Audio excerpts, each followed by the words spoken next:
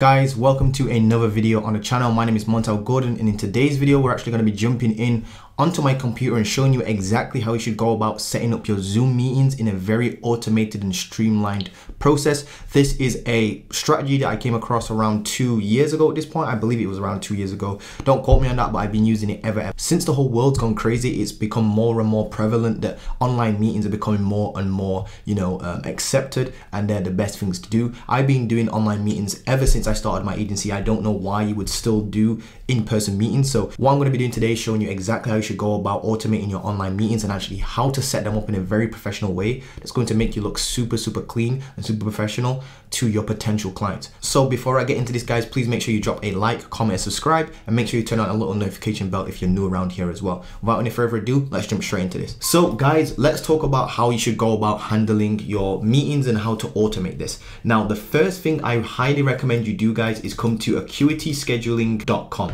It's this particular business right here that's a actually a, a Squarespace company. Now you can use other calendar software. So if you don't know what this is guys, by the way, this is a calendar software. This is my favorite, favorite, favorite calendar software. I actually prefer this over stuff like um, Calendly and one schedule once or whatever it's called. The reason why I prefer it over like um, Calendly, I do admit Calendly does look more professional than Acuity scheduling in terms of, you know, getting people to actually book in. But the reason why I like Acuity scheduling is because it actually has like a an address book. So whenever somebody actually books in a meeting on your calendar, for example, you are actually given their your, your their details are actually logged and stored within like an address book within Acuity scheduling. So that's one of the reasons why I love using Acuity scheduling. Now, guys, what you want to do is make sure you get the emerging plan. This is the plan I've been using ever since I started my agency ages ago. Um, can't even remember how long ago it's been. To be honest with you, I'll look back on my channel and actually let you guys know. Uh, but yeah, it's been a long, long time since I started my agency and I've always got this particular plan. This is going to pay for itself 10 times over. This is the most important software in my entire arsenal. This and Zoom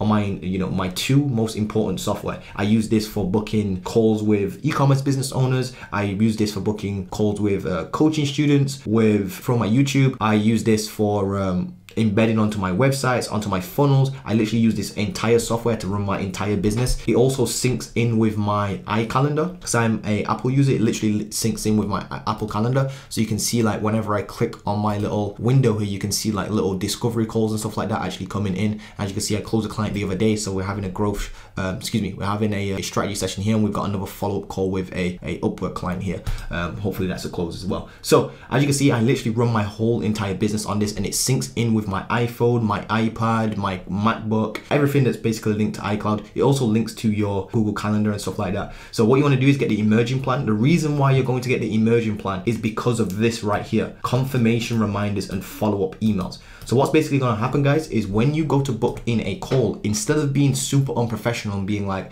hey John, you know, can we can we get on a call? And then John replies back to you saying, yes, sure Montell, do you have times? Are you available Tuesday? And then instead of me having to go and look through my calendar and say, yeah, I'm available Tuesday at 3 p.m. UK time. What time is that in, in the US? And having to look around. Instead of doing that, what I do is I literally just send him over a calendar link. He then clicks on my calendar link and books in a slot and fills out a questionnaire. And then what happens is he gets an immediate confirmation email that his uh, meeting's actually being successfully booked with me. And then what also happens is he gets reminder emails 24 hours before the call, six hours before the call, call and one hour before the call. I'm going to be showing you exactly how you set that up as well. With the emerging plan, you don't get text message reminders, but if you get the growing plan, which I don't have and I've never actually bought, I might actually buy it because it actually will probably pay for itself tenfold. But I just, you know, for now, just stick to the emerging plan. As you can see, it's $15 per month. And again, it's totally justified for this price. So you're going to go and get Acuity scheduling and you're going to get this particular plan here and it is a seven day free trial. So the next piece of software you're going to use is Zoom. So Zoom is basically like Skype, but the better version of Skype because you don't need to,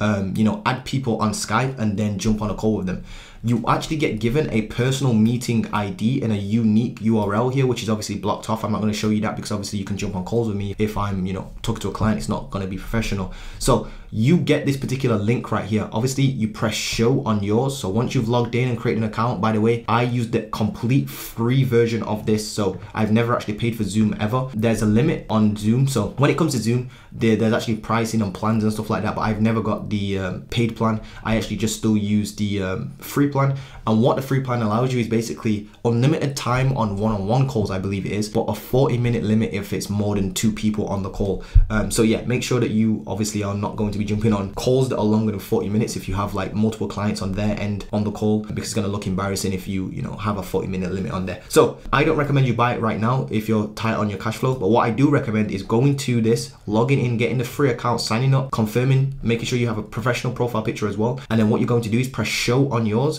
and then you're going to copy this particular code for what we're going to do in a second. So what you're going to do is once you've logged into your Acuity scheduling, you're going to immediately type in, go to your appointment types, should I say. So you're going to set your appointment types, which is going to look like this. So appointment types, all you're going to do is click on add new appointment type. And what this is going to allow you to do is create certain appointment types for your certain services that you're going to be offering or if you're going to be doing discovery calls you can call them discovery calls. For me i like to call them growth analysis calls or growth analysis sessions and you actually want to customize your urls here. So what you want to do is create an appointment type. If you're doing discovery calls obviously call them discovery calls and have your link being you know your name dot or your business name dot as dot me forward slash discovery call. Looks very professional very clean. So i highly recommend you make sure your actual ending of your links are professional. And all you have to do to change that is literally just change the link. Make sure they're not too long like this because that can actually look a little bit messy even though this one's a little bit long. So with that being said once you set up your appointment types you're then going to edit your default limits when you go to availability. So if you don't know how to get there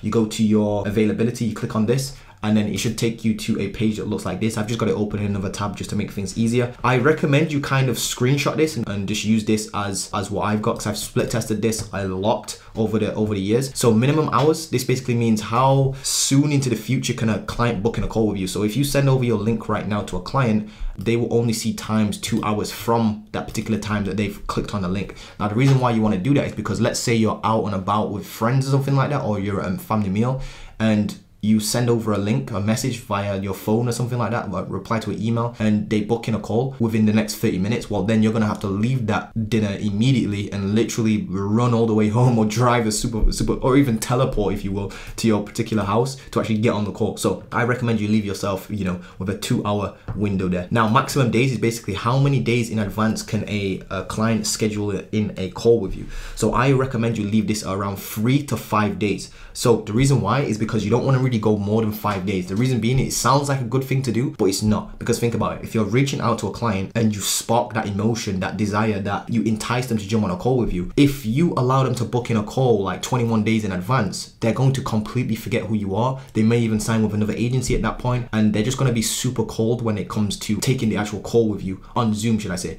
So what you also want to do is set your time intervals as well. This is kind of like settings I have it. I'll kind of let you just go through this and let you guys uh, copy my sort of stuff. So look busy, you can actually add this to your calendar. I don't really like it though because it just reduces the amount of times my potential clients can actually jump on call with me. So as you can see, I've got a whole bunch of appointment types. You don't need to worry about most of these sort of stuff. You're probably only going to need one or two appointment types, which might be like a growth analysis session and then like a MCG client strategy session, which is like a, it's like your call that you have after your onboarding. And then what you want to do is make sure you set your availability. And then what you can do is set when you're going to be available for. So if you're working a job and you work from like nine to five, for example, then you know that nine till six that you're probably not going to be able to get on a call. So 6 p.m. afterwards is when you're probably going to be able to get on a call. So as you can see, I have my availability set for different particular days and set for different times. So as you can see, today we have, you know, uh, certain things available on this particular calendar, but not on this particular calendar because I'm actually starting my YouTubes and recording them on a, on a Saturday. It's a Saturday right now. So as you can see, you can be closed for certain days. You can be open for certain amounts of hours. So for example, 11 to 12, I'm open and then I'm closed for lunch until 11.45 till uh, 7.15 p.m. So I kind of recommend you set that up based around your day and this allows you to plan your day very, very effectively because in the mornings before 11 a.m., I'm doing my IPAs, which is, you know, my cold email and stuff like that, and reaching out. Now, the most important thing you want to do when it comes to setting up your meeting software, your meeting system, if you will, is you want to make sure you go to your Zoom profile and then remember this thing that I said you should copy. You want to make sure you copy this. This is your unique Zoom meeting ID. So when a client gets an initial confirmation email, this is what it's going to say. So as you can see, we are on the email confirmation section. So again, you want to copy that code I just showed you a second ago, the link. You want to go to your initial confirmation email and then you want to scroll down. This you want to leave the same, this you want to leave the same, but the where section, you want to edit this, literally highlighting the text and deleting it, and you want to paste in this code right here. You want to paste this code right into here because what's going to happen is uh, your clients are going to get this email saying, you know, new appointment and it's going to say the type of appointment, which would be, you know, maybe it's your growth analysis session.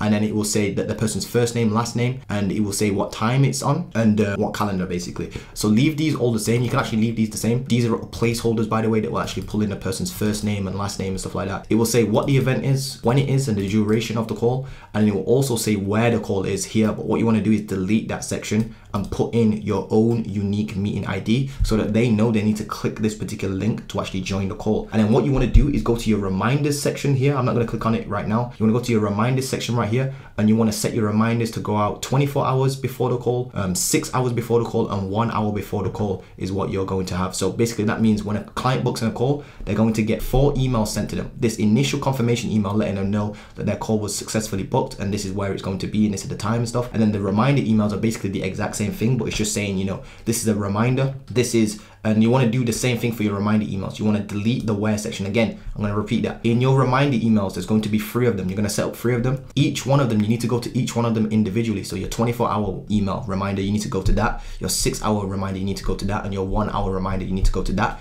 And you need to go to each individual one of them and delete out of them individually where it says this text here because your one will probably look like percentage sign where percentage sign is like the placeholder that they um, normally have in there. So you want to delete that out of there and then you want to paste in your Zoom meeting ID. Of course, this is a fake ID, so I'm gonna have to change this back. And your password, you wanna make sure you put that in there as well. If you have a password, that is, and this passcode is this right here. So you click on show here, this is your passcode. Sometimes Zoom has now, you know, because everybody's, you know, relying on Zoom and stuff like that for more and more meetings, more and more people are getting like hacked and stuff like that. I believe is the reason why have a passcode. So yeah, guys, you also wanna make sure that you copy over your passcode as well and put it into your email settings. Of course, this uh, I'm just gonna X mine out, so I don't want you guys jumping on my particular Zoom meetings. So guys, the last thing you wanna do is click on the intake form section. And what you can actually do, guys, is actually set an intake form, which is basically like when you send over your calendar link to a business owner that you've, you know, is completely cold, you can have, you know, questions that vet the potential client coming on the call before you even jump on the call. This allows you to basically see what revenue they're making, what their goals are, what their obstacles are,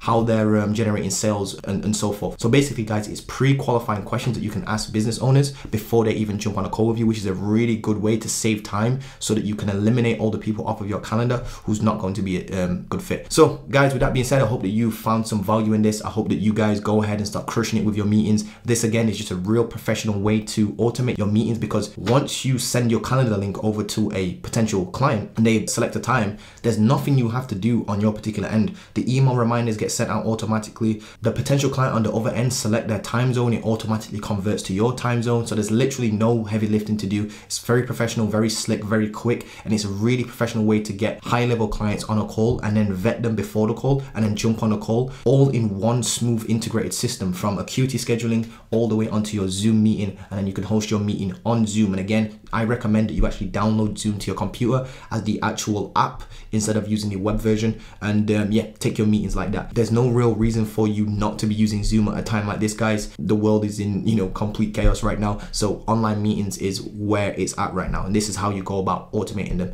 So guys, with that being said, hope you've enjoyed this. And hope you've seen some value in this. If you have, please drop a like, comment, and subscribe. And I'll see you guys in the next one real soon. Peace.